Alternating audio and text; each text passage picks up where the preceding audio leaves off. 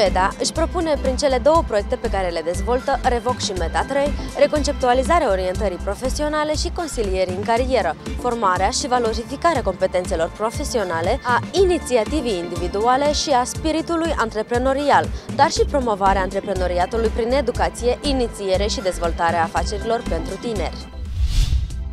Unul din scopurile principale ale proiectelor menționate constă în dezvoltarea serviciilor calitative de orientare profesională, educație antreprenorială și consiliere în carieră a elevilor din instituțiile de învățământ secundar și profesional tehnic. Avem drept obiectiv integrarea tinerilor pe piața muncii din uh, Republica Moldova sau în cazul când ei își doresc să continue studiile în instituțiile superioare, să fie bine informați și ghidați de profesioniști.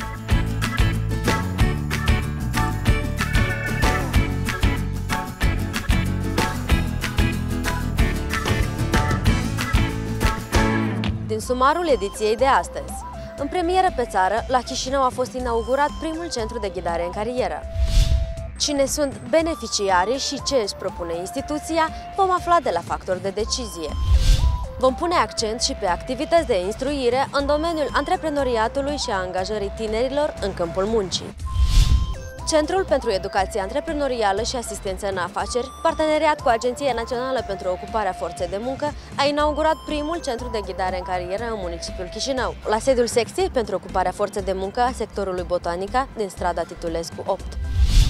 Tinerii mereu își pun întrebarea ce profesie să cum să reușesc în viață. Ei au o multitudine de, de probleme ce țin de vocația lor, ce țin de aptitudinile lor, ce țin de unde să se adreseze, la ce instituție, ce informație să caute, cât de credibilă este informația. Și iată, noi ne-am propus ca să dezvoltăm așa servicii și să avem o bună colaborare cu elevii care își pun aceste întrebări și să venim cu aceste răspunsuri. La eveniment au participat reprezentanții școlilor profesionale, liceilor, agențiilor teritoriale pentru ocuparea forței de muncă, reprezentanții ai partenerilor strategici, locali și internaționali.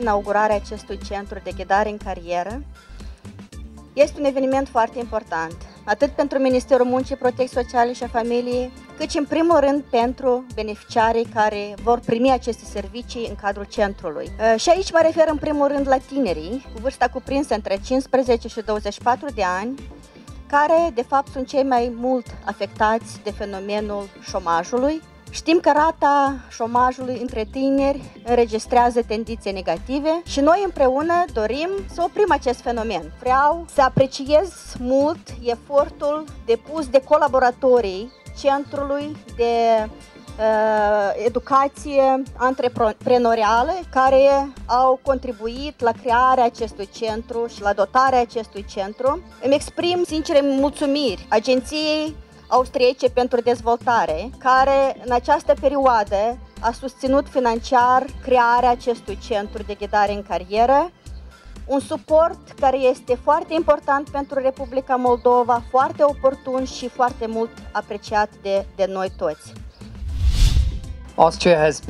Austria este un partener al Republicii Moldova de mai mulți ani deja, deci noi lucrăm împreună de peste 10 ani în mai multe domenii, cum ar fi, spre exemplu, alimentarea cu apă și sanitație, dezvoltare rurală, uh, bună guvernare, însă ce poate fi mai important decât să ne unim eforturile și să contribuim împreună la o mai bună dezvoltare a tinerilor pentru o mai bună viață și o integrare mai bună socială a lor.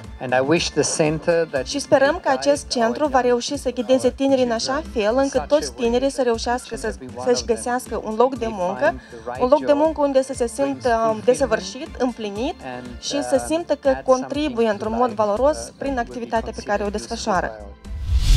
Inaugurarea acestui centru este încă o dovadă și încă un motiv, încă un moment foarte important în care profesorii trebuie să vină să demonstreze că în mâinile lor se află destinul unui popor. Orientarea tinerilor spre o anumită profesie, încurajarea lor să-și găsească un loc de muncă aici, acasă, să nu trebuiască să migreze, să plece de acasă, este E extrem de important pentru noi lucrul acesta.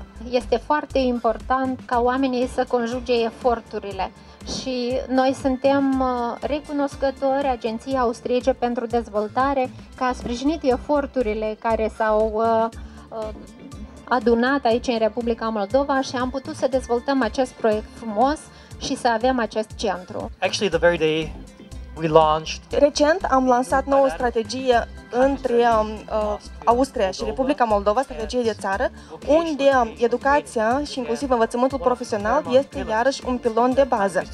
in order to provide Pentru a putea oferi învățământ profesional um, potrivit, este extrem de important să avem și ghidare în carieră și consiliere în carieră.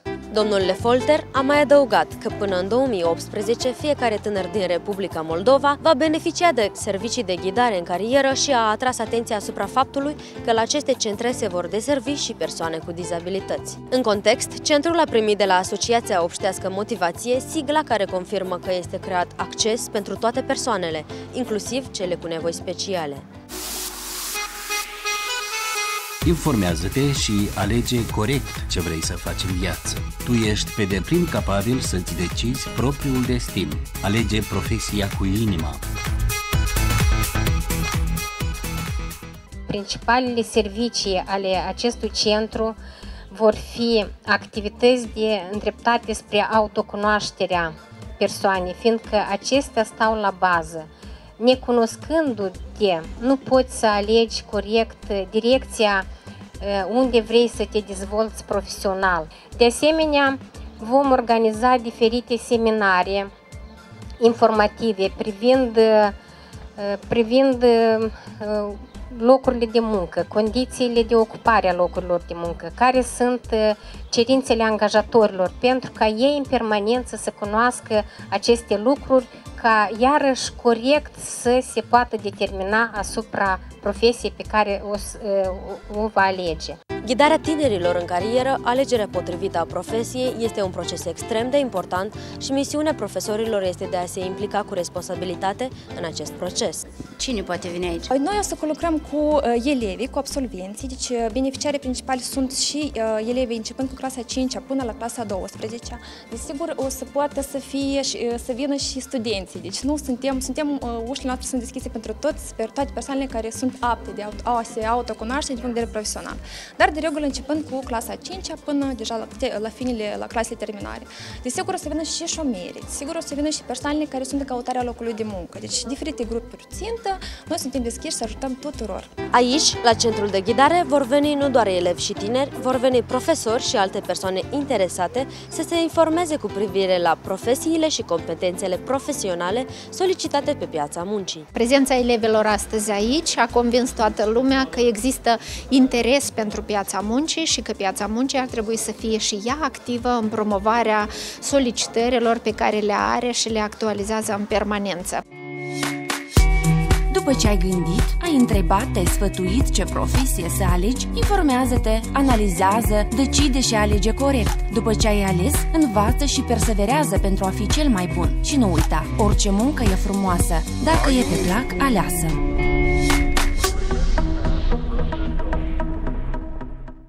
Evenimentul s-a încheiat cu o activitate interactivă la care a participat un grup de elevi de la Liceul Ion Creangă din municipiul Chișinău.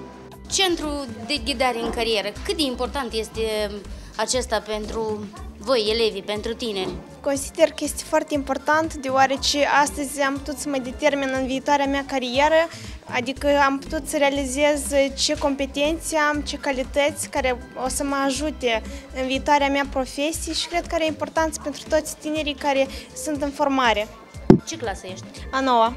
A noua? Ți-a trebuit doar o oră ca să te de hotărăști ce profesie să îmbrățișezi? Au fost înainte dubii, acum așa a fost o pas final spre decizie. Ce, ce s-a întâmplat de ai decis?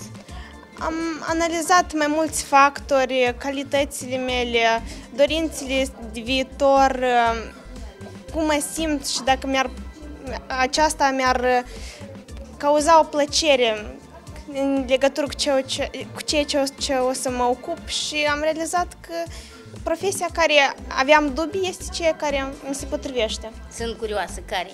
Deci eu consider că mi se potrivește să fiu judecător.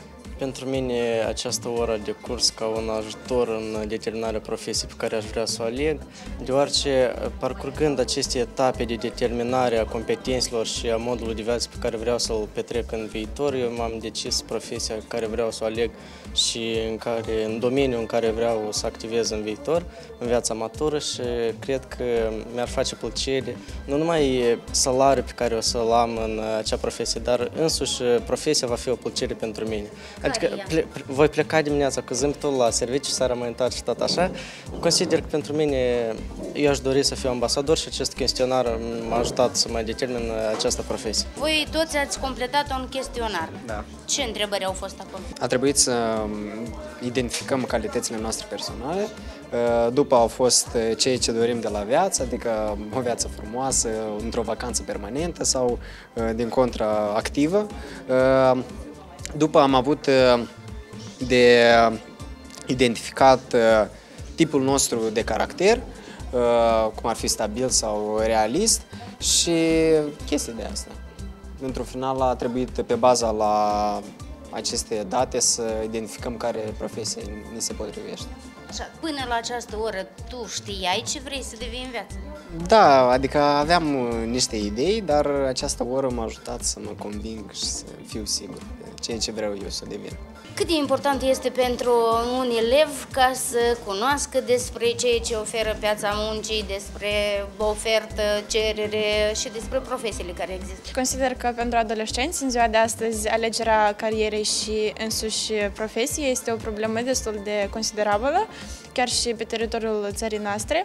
Deci, chiar și la lecții de educație civică am vorbit despre piața muncii și însuși profesoara ne-a explicat ce conține ea și ce ne oferă ea și cum putem să apelăm și să ne informăm despre ea. Chiar și aici la centru am aflat că putem să ne ducem la însuși centrul municipal ce se ocupă cu alegerea profesiilor și persoanele respective ne vor ajuta în diferite domenii, domeniul care, de exemplu, ne simțim mai bine dezvoltați și alte deja domenii. Ție ce ți se potrivește?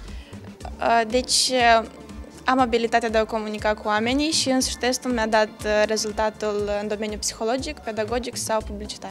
Cât de important este singur să vă alegeți ceea ce vă doriți, să nu vă lăsați influențați la anumite cotituri de părinți sau de profesori?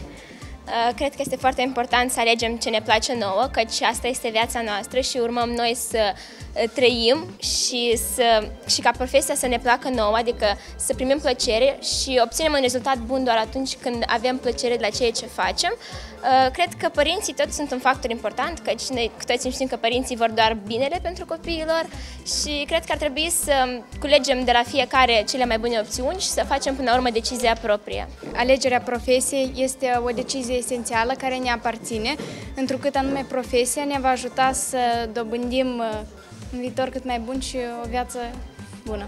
Până acum, ai acumulat suficiente cunoștințe și informații despre profesiile care există și ce ți s-ar potrivi? Consider că niciodată, în fel, mereu voi mai avea de învățat, însă cum am mai spus colegii, avem lecții de educație civică care ne instruiesc cu o informație foarte utilă în domeniul carierei și alegerii profesiei. Cât e de ușor sau de greu să-ți alegi o profesie? Pentru fiecare adolescent este o dilemă să-și aleagă domeniul sau cariera pe care vrea să urmeze în viață, însă toate proiectele astea de educație, la, pe care le trecem la educație civică sau chiar în cadrul lecției de astăzi ne ajută să ne determinăm bine ceea ce ne dorim cu adevărat să facem în viață, ceea ce vrem să obținem și sunt foarte bucuroasă că am avut posibilitatea astăzi să asist la așa o lecție în care cel puțin am încercat, așa făcând o generalizare, să-mi dau seama ce domeniu mi se potrivește de activitate um, și, și la școală. Suntem implicați într-un proiect în care ne determinăm profesia și cariera în viață și sper într-un final să să știu ce vreau în viață. Ce ați vrea voi să aflați când deschideți ușa la un asemenea centru? Centru de ghidare în carieră. Aș vrea să aflu ce calități îmi trebuie ca să le dezvolt pentru a avea o carieră de succes în viitor. Și cu ajutorul acestor te teste am am identificat aceste calități pe care eu trebuie să le dezvolt.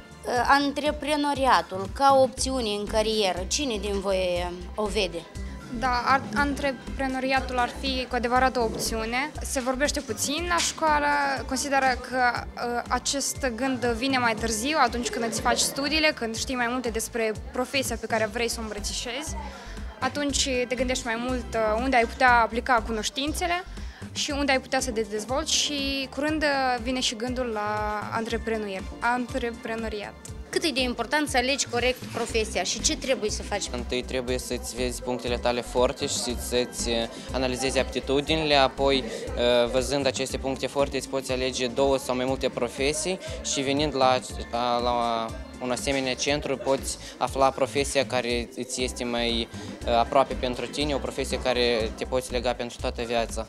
Apoi te duci la, urmezi studiile universitare și te înveți. Să nu greșești la început. Ce trebuie să faci? Să stabilești abilitățile proprii, să vezi, să te informezi care profesii sunt mai solicitate, ce se încadrează în aceste profesii, de ce ai nevoie, dacă ai caracteristicile corespunzătoare pentru acestea. Dacă nu le ai, alegi alta. Mai bine să te decizi de la început decât să, te, să alegi alt drum greșit. Informează-te și alege corect ce vrei să faci în viață. Tu ești pe deplin capabil să-ți decizi propriul destin. Alege profesia cu inima. Vom cunoaște 10 din cei mai buni viitori coafor, elevi și absolvenții școlilor profesionale din Bălți și Soroca, care au trecut toate etapele de selectare în cadrul unui internship pentru frizeri organizat de către CEDA la Chișinău. Echipa CEDA, în cadrul proiectului META, și-a propus să-i provoace pe acești tineri să învețe prin a face, în primul rând, și de aceea programul este următorul. Aici sunt prezenți și doi maestri, deci, care lucrează cu ei și în cadrul școlii și ei vor obține ceva mai avansat decât obțin în cadrul programei școlare. Plus la aceasta ne-am propus să accepte provocarea noastră de a merge la diferite nivele de instituții care se ocupă, care practică în sectorul privat acest lucru, începând de la o frizerie simplă și terminând cu VIP salon. Ele au avut această ocazie. Acest seminar mi-a dat un scop pentru viitor, pentru a realiza ceva nou. Aici am învățat foarte multe. Sunt mulțumită pentru toate lecțiile și cred în puterile mele. Am fost la frizerii, VIP, saloane, care pentru noi este ceva super și ca studenții noștri, noștri să tindă la ceva mai presus, să știi cum se muncește din greu, cum să realizeze un business, așa, ca pe viitor o să încearcă și ei să învețe bazele antreprenoriatului și cu ajutorul afaceri, centrului de afaceri CEDA, să încercăm și noi să реализуем ceva a nostru. Эти встречи дали возможность познакомиться с руководителями салонов. В этих салонах работают наши выпускники нашей школы. И, естественно, они тоже дали им какие-то рекомендации, советы, как надо учиться, на что надо обращать внимание во время обучения. А руководители рассказали, как они строили этот бизнес. То есть дали им возможность немножко такой составить бизнес-план на будущее, как можно в этой профессии развиться. Voi la școală aveți profesori, maestri, specialiști care vă învață, eu știu, diferite tehnici. Nu e la fel? Profesorii tot ne învață multe coafuri, dar sunt coafuri mai deosebite decât cele care le învățăm la școală. Mai frumoase și Acolo tot sunt foarte multe cofuri interesante, dar aici am învățat ceva mai nou. Și pentru noi maestri care suntem aici este foarte binevenit uh, acest seminar. Uh, noi, perfecționări în domeniul profesiei noastre, suntem uh, la etapa când ne se dă libertatea să alegem noi singuri. Din motiv financiar, școala nu ne poate achita niște curs, această instruire pentru profesori, pentru maestri profesori. De ce noi fiecare căutăm căile noastre? Nu stăm pe loc și noi ne perfecționăm, dar să zicem, la acest detalii atât de înalte, trebuie bani buni. Și, desigur că statul, dacă ne-ar acorda un ajutor în, acest, în această direcție, ar fi și mai bine, școlile ar prospera și mai mult, că oricum noi, profesorii din localitățile de unde venim, noi ne stăruim să nu rămânem în urmă de capitală și să dăm și noi specialiști buni și la fel să se ridice și să proslăvească profesia de frizer. Noi am învățat multe lucruri noi, multe cofuri, am fost la diferite saloane VIP, ne-a plăcut foarte mult și suntem foarte bucuroși și mulțumiți acestui proiect, proiect. și aș dori să deschidem și noi un salon propriu, să-l avem. Visăm cel puțin la asta. Așa? Vreau să spun un mare mulțumesc la organizația CEDA. Este o organizație care dă posibilități studenților și tuturor elevilor și vreau să spun că suntem toți foarte mulțumiți cu că am fost aleși și că suntem acum aici și am avut o mare posibilitate și un mare noroc. Vreau să spun că este o muncă foarte mare și este o profesie destul de frumoasă și am acumulat foarte multe capacități noi. La sfârșitul instruirii vor primi certificatele respective și noi în continuare vom monitoriza uh, rezultatele lor, ca mai apoi, uh, spre sfârșitul anului, anului de studiu și obținând diploma de specialist, ei vor putea poate cei care își doresc să înceapă o afacere să vină uh, în cadrul proiectului, să continue cursul business, care se numește la noi post-vet, adică după școala profesională și mai apoi chiar să aplice la un program de granturi și să facă și primii pași. Noi ne dorim din foarte mult ca ei să rămână în piața muncii din Republica Moldova, deoarece asta este și unul din scopurile proiectului, de fapt. Atât pentru astăzi. Sunt Nicoleta Jalbă și vă îndemn să vă informați corect cu privire la profesiile și solicitările din piața muncii. Să alegeți cu inima și să nu uitați, orice muncă e frumoasă dacă e pe placa aleasă.